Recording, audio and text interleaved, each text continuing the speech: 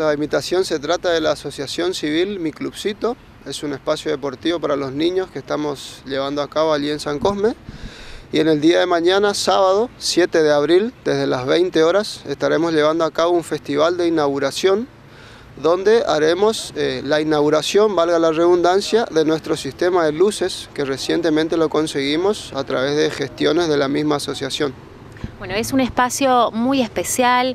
Eh, para la realización de actividades deportivas que sabemos la importancia que tiene hoy cuando los chicos, los jóvenes son blancos de tantos flagelos como son las drogas, el alcohol, las malas juntas. Así es, la verdad hay mucho de eso, pero también hay mucho de lo otro. Hay mucha buena gente, muchos buenos jóvenes y bueno, suponemos que tomamos la posta, la responsabilidad de, hacer nuestra parte, de, siempre nos gusta decir transformar la queja en acción.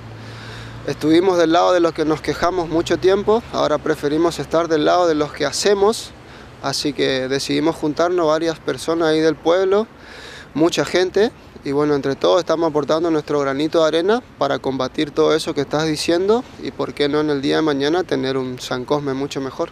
Eh, ¿Esto está destinado a quién? Contanos eh, quiénes van a actuar eh, y cómo poder colaborar con mi clubcito y esta hermosa iniciativa. En el día de mañana los que van a colaborar son grupos de folclore y de chamamé. Aquí de Corrientes Capital hay un grupo de folclore que se llama 3F, de San Cosme son dos grupos de chamamé que se llaman Los del Interior y Zapucay de Fe y estará cerrando la noche Diego Gutiérrez. ¿Qué actividades realizan en mi clubcito?